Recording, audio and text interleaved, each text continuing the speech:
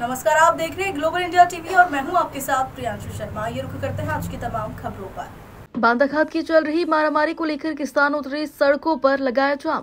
आवागमन पूरी तरह से हुआ बाधित। स्कूल जाने वाले छात्र छात्राएँ फंसे जाम में। महिला और किसानों ने सड़कों पर लगाया जाम और खाद की मांग की है।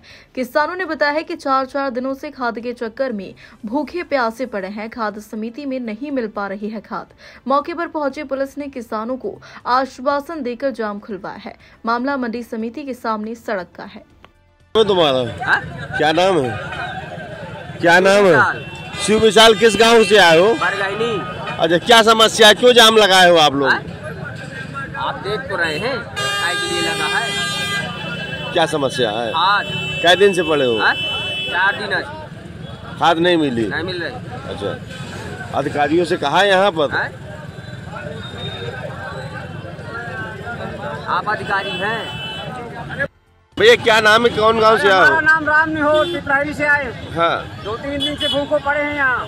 क्या करें खाद नहीं मिलती लड़के बच्चे सब परेशान का छोड़ कर यहाँ भूखों मर रहे हैं। कोई नहीं सुन रहा। खाद बांटी जा रही है। अच्छा। तो अधिकारी तो कहते हैं खाद मिल रही है। अधिकारी का है कहीं एक हज़ार की लाइन है सौ पचास को दे दिया बाकी सब रह जाते हैं। अब लिस्ट चिपकाने की कौन सी बात है आप बता रहे थे? लिस्ट चिपका गए हैं बेकार को आठ नौ बजे सबका है अब आज नहीं मिलेगी। बताओ भूखो पड़े हैं कल से का। कल से आप लोग इसी से आक्रोशित होकर के आप लोगों ने जाम लगाया हाँ है। जाम लगाया इसी से। क्या मांग है जाम लगाए हैं तो? अरे खाद मिलने की मांग है और क्या हमें चाहिए? धोने को पड़े